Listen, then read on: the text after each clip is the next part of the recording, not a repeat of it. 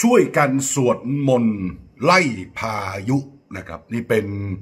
คำพูดของพลเอกประยุทธ์จันโอชานายกรัฐมนตรีในขณะที่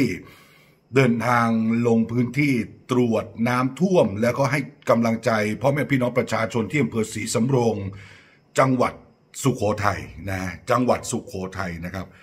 เอาละภาพรวมก็เป็นการสั่งการนะครับ แต่ว่านั่นแหละครับคนก็วิพากษ์วิจารณ์คำให้สัมภาษณ์ของพลเอกประยุทธ์ คือฟังแล้วมันดูมันดูท้อแท้ฟังแล้วมันดูเหมือนกับว่า ในทางวิทยาศาสตร์ หรือว่าการที่พลเอกประยุทธ์เป็นนายกมาจะเข้าปีที่8เลยนะครับ ยังไม่สามารถแก้ไขหรือว่าทำอะไรได้เลยนะครับ ซึ่งเป็นสิ่งที่คนไทยอยากเห็น แน่นอนครับ มันไม่มีใครห้ามได้หรอกครับ พายุมันเกิดในทะเลมันเกิดในมหาสมุทรนะครับ มันเป็นเรื่องทางธรรมชาติ แต่สิ่งที่คนไทยอยากได้ยินอยากได้ฟังจากนายกที่เป็นมาจะเข้าปีที่ 8 แล้วมีแนวโน้มว่าต้องการจะอยู่ในอำนาจต่อไปเนี่ยคือการเตรียมความพร้อมมาตรการการรับมือการดูแล พ่อแม่พี่น้องประชาชนต่างหากที่คนไทยอยากได้ยิน มันไม่มีใครห้ามได้นะครับพายุเนี่ยนะฮะเป็นเรื่องธรรมชาติพลเอกประยุทธ์บอกว่าปัญหาบ้านเมืองไม่ใช่เพียงแค่ตรงนี้ ซึ่งมีหลายซึ่งมีหลายที่ด้วยกัน โดยขณะนี้มีพายุเข้ามา อย่างปี 63-64 พายุเข้ามา 5 ลูก แต่ปีนี้พายุเข้ามาลูกเดียว จึงขอให้ช่วยกันสวดมนต์อย่าให้พายุเข้ามาอีกเลย พายุลูกเดียวก็พอแล้ว พร้อมต้องช่วยกันคิดใหม่ว่าวันข้างหน้า จะอยู่กันอย่างไร จะต้องปลูกบ้านกันอย่างไร จะต้องปลูกบ้านสองชั้น ขยับหรือขยายไปอยู่ในที่สูงขึ้น ซึ่งรู้ว่ายากแต่ถ้าตั้งใจฟังรัฐบาลพูด ก็น่าจะไปในทิศทางที่ดีขึ้น ซึ่งตนเองเป็นนายกรัฐมนตรี ก็ใช่จะสบายต้องทำงานทุกวันต้องพยายามคิดอะไรใหม่ๆ ทั้งในเรื่องการเกษตรโครงสร้างพื้นฐาน แก้ปัญหาความยากจนกระจายรายได้ลดความเหลื่อมล้ำซึ่งทุกคนจะต้องพัฒนาขีดความสามารถ เพราะวันข้างหน้าลูกหลานต้องอยู่กับเทคโนโลยีดิจิทัล ต้องการเรียนภาษา coding เพื่อสั่งการด้วยคอมพิวเตอร์คุณผู้ชมครับ นี่เป็นมาจะ 8 ปีแล้วนะ เป็นมาจะ 8 ปีนะครับ บอกว่าเราต้องช่วยกันสวดมนต์อย่าให้พายุเข้ามาอีกเลย ผมอธิบายคุณผู้ชมแบบนี้นะ พายุเนี่ยมันมีทั้งคุณทั้งโทษนะ เวลามันเอาน้ำเข้ามาเนี่ยนะครับ ฤดูแล้งปีเนี้ยซึ่งจริง ๆ ถ้าไปดูนักวิชาการหลายคนออกมาทำนายนะครับ บอกว่าแรงเนี่ยจะมาเร็ว ดีไม่ดีนี่อาจจะเป็นพายุลูกสุดท้ายแล้วนะครับ ของปีนี้ พายุลูกสุดท้ายแล้วนะฮะ นั่นก็หมายความว่าตุลาคมเป็นต้นไปก็จะเข้าสู่ฤดูหนาว หรือเรียกว่าแรงละแรงยาวแล้วพลเอกประยุทธ์พูดว่าให้คนสวดมนต์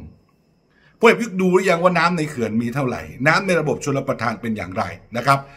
พายุเป็นสิ่งที่จัดการมันไม่ได้ครับ แต่เรื่องของการป้องกันและเวลาพายุมาก็ต้องตักตวงน้ำให้อยู่ในระบบเขื่อนอ่างเก็บน้ำชลประทาน ให้ได้มากที่สุดนะครับ เพราะอย่าลืมนะครับว่าในแต่ละปีเนี่ยปัญหาความแห้งแล้ง การขาดแคลนน้ำของคนไทยเนี่ยก็ยังเป็นปัญหาซ้ำซากทุกปี ฝนตกน้ำท่วม แต่พอถึงฤดูแล้งกับขาดแคลนน้ำนี่เป็นปัญหาของประเทศไทยเวลาพูดเนี่ยต้องมองสองด้านนะครับ ไม่ใช่ไปพูดว่า โอ้โห ผมไม่อยากจะวิจารณ์ขนาดนั้นน่ะคือบอกให้ประชาชนสวดมนต์ คนระดับนายกรัฐมนตรีคนเป็นระดับนายกอะมันต้องควรทำอะไร แสดงขีดความสามารถอย่างไร เพราะอย่าลืมนะครับ เป็นมา 8 ปีนะครับ อันนี้พูดเหมือนเพิ่งเป็นนายกเมื่อวานคุณผู้ชม พูดเหมือนเพิ่งเป็นนายกเมื่อวานเลย จะปลูกบ้านสองชั้น ฟังรัฐบาลย้ายขึ้นไปอยู่ที่สูงนะซึ่งตนเป็นนายกก็ใช่ว่าจะสบายอะไรมาพูดอะไร ตนเป็นนายกก็ใช่ว่าสบาย ผมเชื่อว่าชาวบ้านลำบากกว่านายกนะ บ้านนายกน้ำไม่ได้ท่วมนะคุณผู้ชมครับ ทั้งในเรื่องการเกษตรต้องพัฒนาขีดความสามารถ ลูกหลานต้องอยู่กับเทคโนโลยีดิจิทัล ต้องการเรียนภาษา codingเอาจริงนะครับ เราอยู่มาในยุคพลเอกประยุทธ์เนี่ยเจ็ดแปดปีเนี่ยนะครับ เคยเห็นอะไรที่มันเป็น coding อะไรแบบเนี้ยเคยเห็นดิจิทัลอะไรที่มันพัฒนา เคยเห็นระบบต้องดูจากระบบราชการเป็นหลักนะครับรัฐบาลเนี่ยเคยเห็นการเปลี่ยนแปลงระบบ coding ในข้าราชการในระบบ รัฐเคยเห็นเทคโนโลยีดิจิทัล ในระบบรัฐคอมพิวตงคอมพิวเตอร์อะไร พัฒนาขึ้นอย่างผิดหูผิดตาหรือเปล่า คือเหมือนพูดไปเรื่อยนะครับเนี่ยนะเหมือนเหมือนเหมือนบอกจะสวดมนต์แล้วก็บอกว่าเนี่ยจะต้องแก้ไขปัญหาความเหลื่อมล้ำโอ้โห คุณผู้ชมครับ โอ้โหเลยครับ โอ้โหเลยครับ ความเหลื่อมล้ำเนี่ยนะครับ ไปดูเจ้าสัวนะครับ นั่งตั้งแต่ที่พลเอกประยุทธ์เป็นนายกมาเนี่ยนะครับดูว่ากิจการของเขาเนี่ยร่ำรวย เติบโตขยายใหญ่ ยิ่งพลเอกประยุทธ์ปล่อยให้เจ้าสัวมหาเศรษฐีใหญ่ๆนะครับ เติบโตเท่าไหร่ความเหลื่อมล้ำก็ไปไกลแล้วแหละครับโอ้โหดูนะมันไม่ใช่แค่เรื่องแค่สวดมนต์นะคุณผู้ชมฟังนะครับ คืออะลงน้ำท่วมก็ว่าไปแต่เรารู้สึกว่า เรามีพลเอกประยุทธ์เป็นนายกมาเข้าปีที่แปดพูดเหมือนกับว่าเพิ่งเป็นนายกเมื่อวานนะครับ ย้อนกลับกลับไปปีปีห้าสามห้าสี่นะ เมื่อกี้ผมอาจจะอ่านผิดไป ถ้าย้อนหลังไปปีห้าสี่อะห้าสี่ปีนั้นหนักสุดนะ ปีนั้นพลเอกประยุทธ์ยังเป็นผบทบในปีนั้นนะใครหลายคนน่าจะเคยเห็นที่พลเอกประยุทธ์ขึ้นรถตรวจน้ำท่วมเดินตามคุณยิ่งรักษณ์นะวันนี้ก็จะเห็นภาพพลเอกประยุทธ์ดูแผนที่กับพลเอกอนุพงศ์ไงถ้าย้อนหลังกลับไปสิบปีที่แล้วตอนนั้นเนี่ยคุณยิ่งรักษณ์ไปลงพื้นที่ก็จะเอาพลเอกประยุทธ์ไปด้วย นะก็ยังโชว์กันชี้แผนที่ผ่านไปสิบปีพลเอกประยุทธ์มาเป็นนายกรัฐมนตรีนะปีนั้นปีนั้นน้ำในเขื่อนเยอะด้วยนะคุณผู้ชมครับ ทั้งน้ำในเขื่อนเยอะ แล้วก็ฝนตกเยอะแล้วก็พายุเข้ามาเยอะนะครับ ปีนี้พลเอกประยุทธ์บอกว่าเข้ามาลูกเดียว ก็ช่วยกันสวดมนต์อย่าให้เข้ามาอีกเลย นะคุณผู้ชมครับ อืม ลงพื้นที่เยี่ยมเยียนประชาชนถือว่าเป็นเรื่องที่ดีนะครับ ที่นักการเมืองที่ผู้นำควรทำแต่ว่าพลเอกประยุทธ์ไม่ได้เป็นนายกมา 8 วัน 8 เดือนนะครับคุณผู้ชมครับกำลังจะเข้า 8 ปีแล้วนะเอ่อมันควรเห็นอะไร เห็นความเปลี่ยนแปลงอะไร มากกว่านี้หรือไม่อย่างไร ก็ลองพิจารณากันดูนะ ช่วงท้ายของรายการนะครับ เช่นเดิมครับหากคุณผู้ชมก็ชื่นชอบผมนะสนับสนุน สินค้าได้นะครับ เพราะเราไม่ได้มีสปอนเซอร์นะสนับสนุนปากอย่างเงี้ย วิจารณ์รัฐบาลแบบนี้ไม่มีใครอยากจะเข้ามา เข้ามาเป็นแนวร่วมด้วยนะฮะเขากลัวอาจจะถูกจับตามองหรือเปล่านะครับอะอันนี้เป็นเนื้อหรือหมูเนี่ย อันนี้เนื้อเนื้อแดดเดียว เรามีทั้งเนื้อทั้งหมูนะฮะมีทั้งเนื้อทั้งหมู